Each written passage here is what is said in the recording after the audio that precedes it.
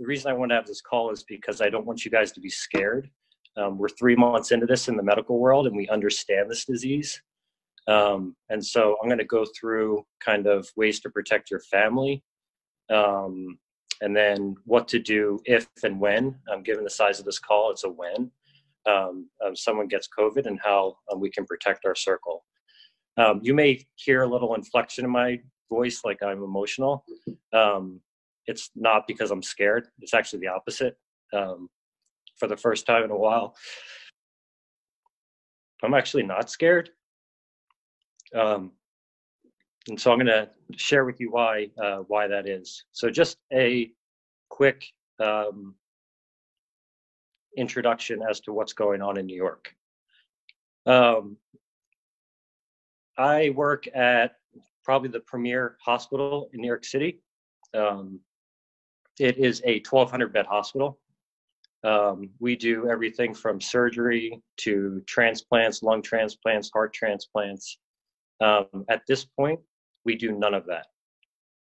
Almost none of that.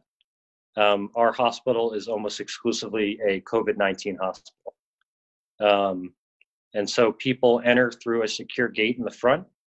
Um, where in the past, what I've been doing is seeing old people with pneumonias or seeing people with bleeds. Um, almost exclusively, what I do all day long is see people with COVID 19. Um, but we're learning and we know a lot and what I want you guys to know is that um, every single day we're getting better. We know more. And I am confident that the stuff I can tell you today um, should make you guys feel um, like when this comes to your community, that you don't have to be scared and that you can protect your family. So I think the first thing is how do you get COVID? Um, and I think that this is really important, and we've really learned a lot um, over the last couple weeks to months about how you get this disease. And so the overarching theme is sustained contact with someone who has this disease, which the vast majority is people with fever and aches, or someone who is about to get the disease.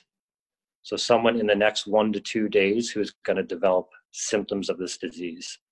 And so, the way that you get this is the transmission of the virus almost exclusively from your hands to your face.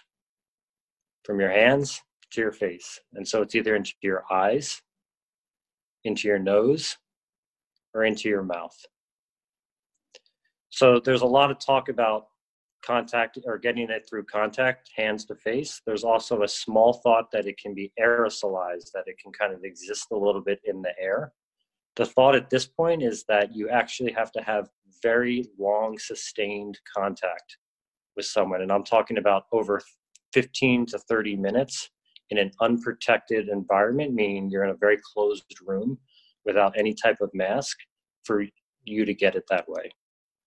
But to very simply state, the overwhelming majority of people are getting this by physically touching someone who has this disease or will develop it in the next one to two days, and then touching their face.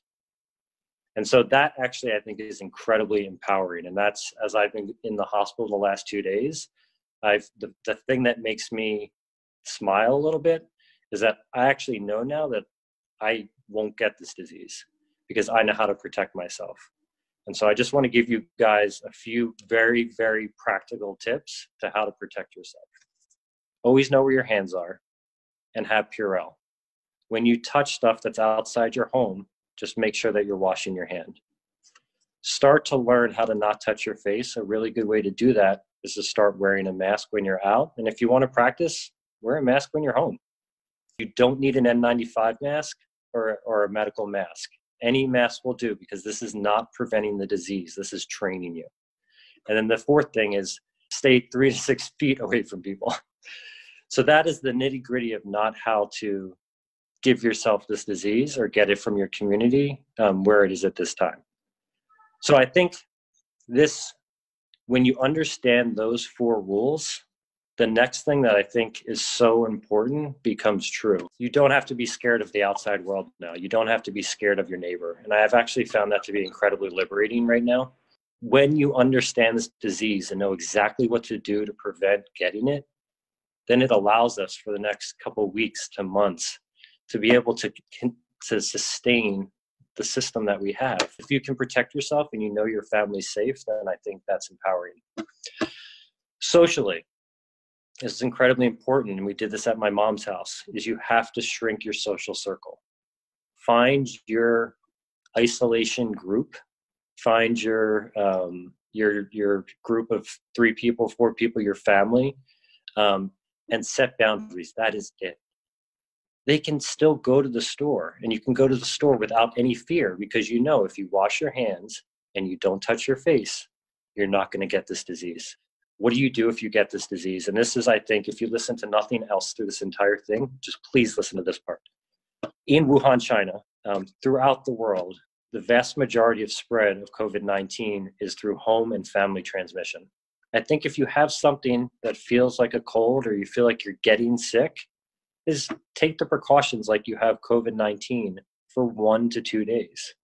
If in one to two days you're feeling much better, and this is like the thousand other colds that you've had in the past year because you have kids, you don't have COVID 19. And then you can go back to your completely normal um, living at home life with your family.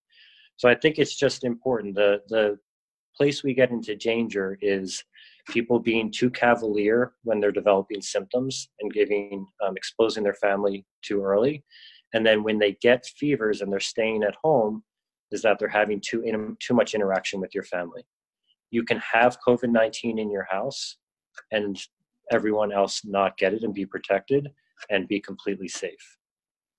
There are a couple exceptions to that and i think this is important. If you have a vulnerable population in your family so if you're living with your um, lovely 95 year old grandmother, um, if you know there's someone in your house who had recent chemotherapy and someone in the house gets sick, you need to find another living arrangement for that patient or practice incredibly, incredibly strict isolation of that family member. We know that the the older population is the, the sickest population um, when they get this disease. And so that is the one caveat to the you, it's safe to stay home with your family is if you have someone who's incredibly vulnerable, you need to um, set up a situation in the house where they're completely isolated from the person who is sick. Um, maybe you could have another person um, take care of that family member in your house so you have no interaction. But simply being in the home with someone with COVID 19 will not get you that disease this is where I'm probably the most qualified person in the country to, co- to comment on um, what it looks like when people are coming into the hospital and sick. So, first, who should go to the hospital? If you're feeling short of breath, come to the hospital.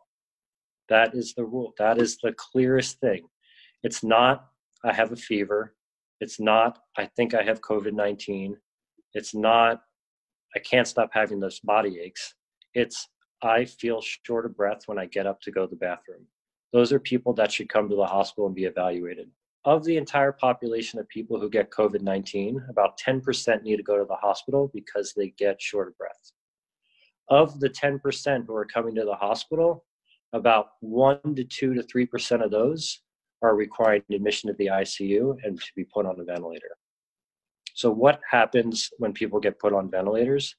The vast majority of people, overwhelming majority of people, come off the ventilator and they usually come off the ventilator seven to 10 um, days later. Um, but I, I, think the important thing for you guys to know is going to the hospital is not a death sentence. It's a safe place for you to be. Um, go to the hospital when you're short of breath. Don't go to the hospital just because you have COVID 19. Should I get tested if I have the disease? If I'm a generic 35 year old who's sick, I think it depends on the availability of testing in your community.